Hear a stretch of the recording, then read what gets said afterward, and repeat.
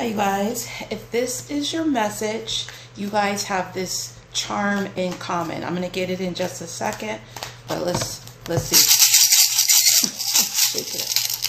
All right. The tree. Okay, so maybe you have like either a love for trees or you both are feeling very grounded. I'm also getting like you both have a deep love of family. So if this is your message, this, I mean, if this is for you, you have this in common. Okay, it could also be about prosperity. So this person says to you, attention. Sit down right here. I want your full attention. So this is some person that gives you their full attention when you're around them.